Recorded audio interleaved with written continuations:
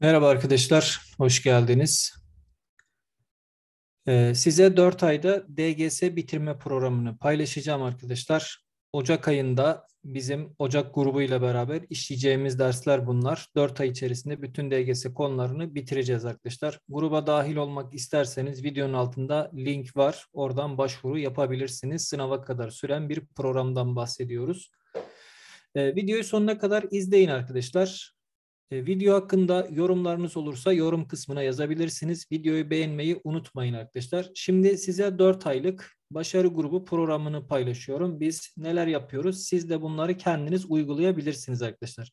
Şimdi matematikte Ocak ayı ile beraber biz temel kavramlardan 2 ders saati yani 2 saat 2-2,5 saat arası sürüyor temel kavramlar. Bunun sadece giriş kısmı tek ve çift sayılar yine 2 saat.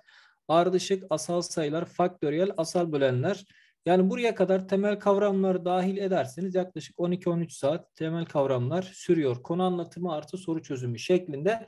Siz bunu kendinize de uyarlayabilirsiniz arkadaşlar. Ocak ayında bunları bitirirsiniz. Asal bölenler, EBOB, EKOK, rasyonel, bölme, bölünebilme ve basit eşitsizlikler derslerini Ocak ayında bitirirseniz kendinize güzel bir program hazırlamış olursunuz arkadaşlar. 4 ayda DGS konularının tamamını bitirebilirsiniz.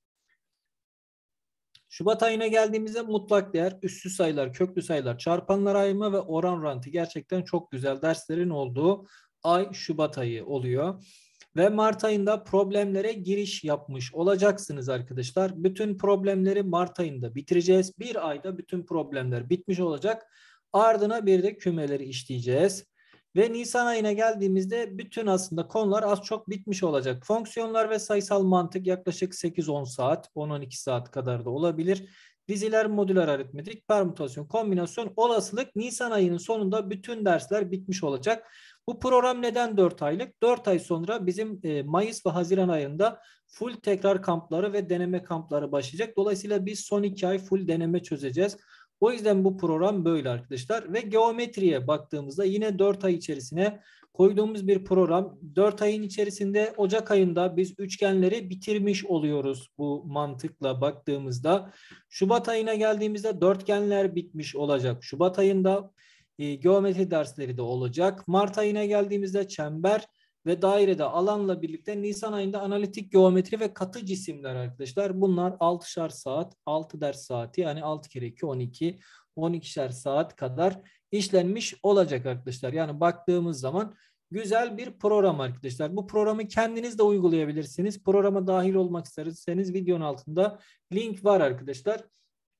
Oradan da başvuru yapabilirsiniz.